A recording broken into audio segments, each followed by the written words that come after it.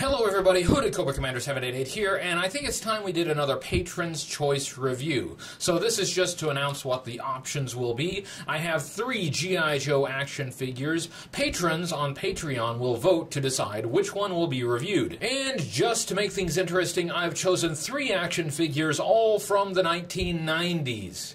Oh boy, here we go. Option one will be from 1994, the Cobra Viper version 4.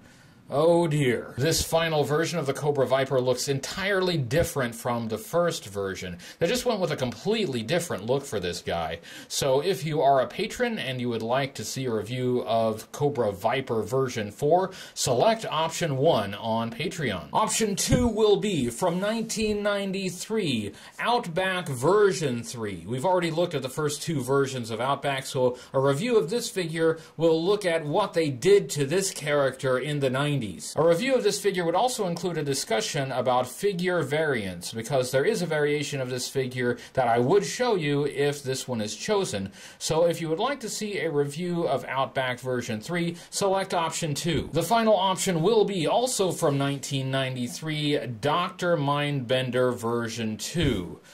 Oh, this is going to be painful. The first version of Dr. Mindbender was pretty strange looking, but they found a way to make him even stranger for his second version.